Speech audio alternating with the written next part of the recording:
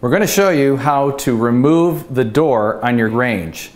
First thing you're going to do is you're going to open up the door all the way and you see that we have the two hinges here. Now there's a hinge cover latch.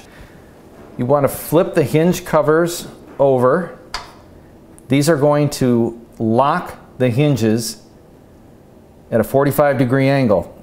Now you're going to slowly bring the door up. Make sure that this notch is firmly going into that opening on both sides.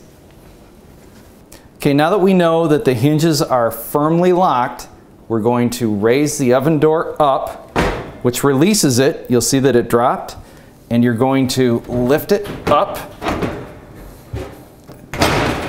and out. And you'll notice that the hinges are locked. We're now going to reinstall the door. You're going to take the hinges and get them into the openings where they came from on the door.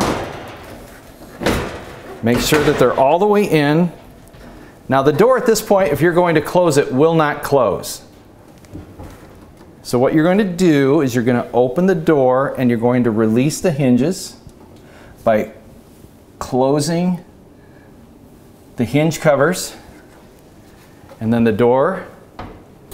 As you can see right now, the door is slightly off, so we're going to make an adjustment. We're going to open these hinges back up, get them locked in place, find out where our problem is.